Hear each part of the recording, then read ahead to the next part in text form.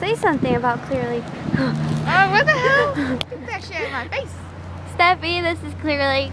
Yo, Steffi! Hey, And then playground. the playground. This is the second park I was talking about. Um, the other side is a park too. park two. park two. And then over there, you can't really see, but behind the playground, it's like a police station. It stinks, by the way. Yeah, it stinks really bad. And then over there is the Mexican store. Over there, you can't really see, but where Where's those Mexican store? where the you call. If there's a little white store over there, it's tiny.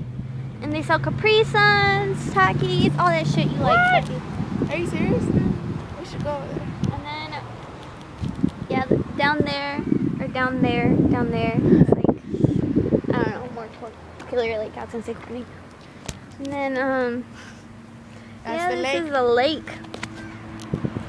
Big old lake.